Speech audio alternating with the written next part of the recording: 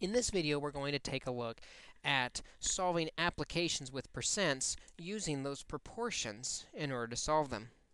If we're setting up our proportion is over of equals percent over 100, we need to make sure we know what part of the application is the of and what part of the application is the is.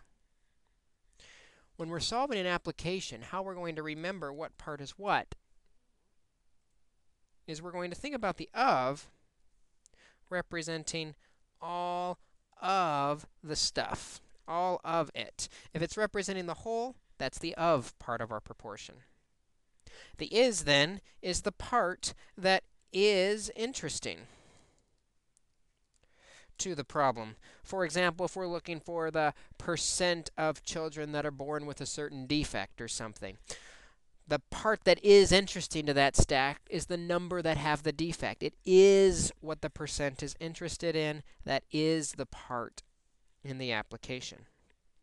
So for example, if we knew that among male smokers the lifetime risk of developing lung cancer was 17.2%, and the Washington State Board of Health said in 2011 the state had 760,000 smokers, how many would we expect to get lung cancer in their lifetime?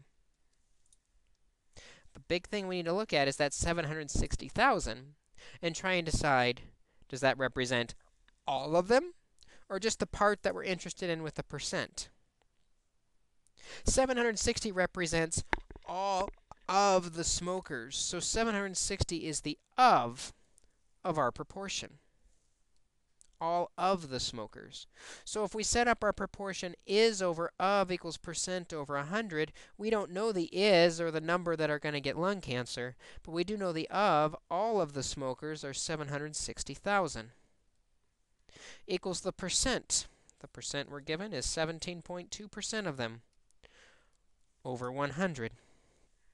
And we now have a proportion that we can use to answer this question.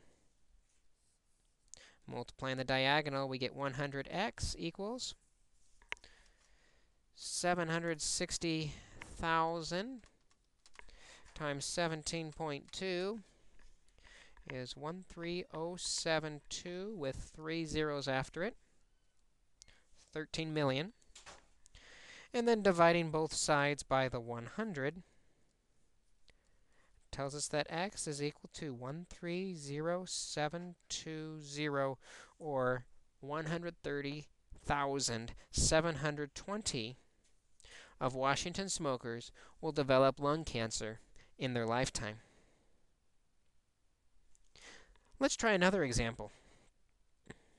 In this problem, we find out that in 2010, women made up 58% of Big Bend Community College's students.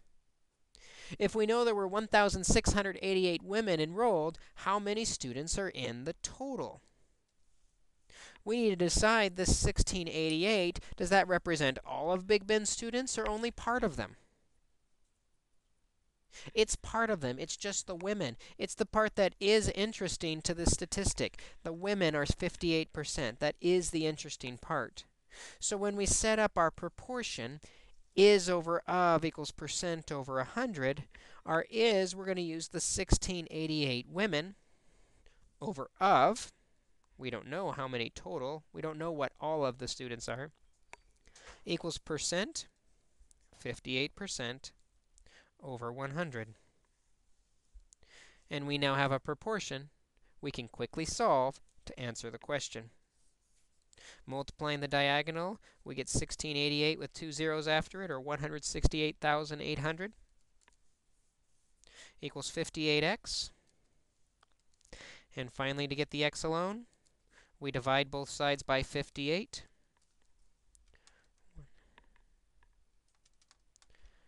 And when we do that on our calculator, we get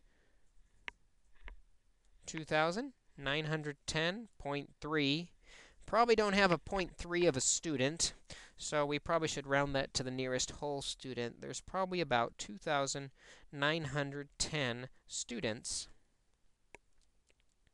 at Big Bend Community College in 2010. We set up these proportions by remembering of represents all of the data, is is the part that is interesting, and the proportion is over of equals percent over 100 allows us to answer the question.